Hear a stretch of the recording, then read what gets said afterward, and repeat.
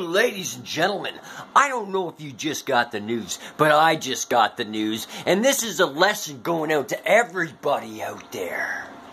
Never, ever say you're the best in the world, because you could be invoking the spirit of the true man.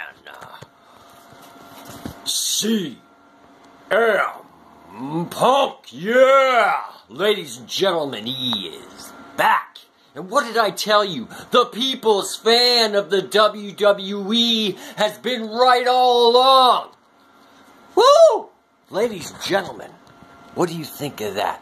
Next week, we're going to see backstage CM Punk answering some questions, popping the mic up. Ladies and gentlemen, it's been a change. There's been a change just when you think you have all the questions. CM Punk changes the attitude. Ladies and gentlemen, CM Punk is